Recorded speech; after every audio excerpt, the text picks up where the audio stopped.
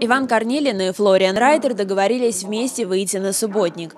Более часа продлилась встреча главы города с членами организации Международного сообщества Нижегородской области. В настоящий момент состав сообщества насчитывает более 50 иностранных компаний с представительством в Нижнем Новгороде. Сегодня, когда в международных делах все не так просто, важно прямое взаимодействие органов местного самоуправления с зарубежными бизнесменами. Вопросы, которые волнуют сегодня наших гостей или наших инвесторов, они совпадает с нашими интересами и выполнением.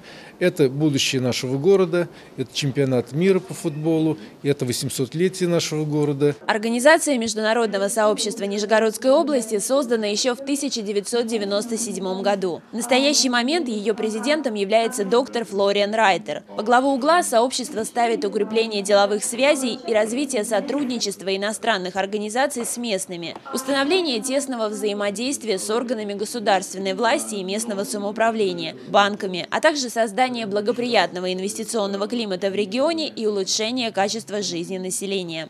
Абсолютно довольны встречей. Мы услышали все интересующие нас ответы, детальные ответы на интересующие нас вопросы. Мы очень рады приветствовать господина Корнилина в должности нового главы Нижнего Новгорода. Подобные встречи главы города с инвесторами будут проводиться каждые три месяца. Стороны даже договорились вместе устраивать субботники. По итогам встречи Иван Корнилин поблагодарил представителей иностранных компаний за активное участие как в культурной, так и экономической жизни города.